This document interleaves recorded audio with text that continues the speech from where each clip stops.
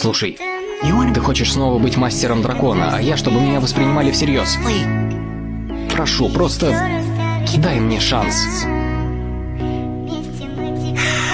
Каждый заслуживает шанс.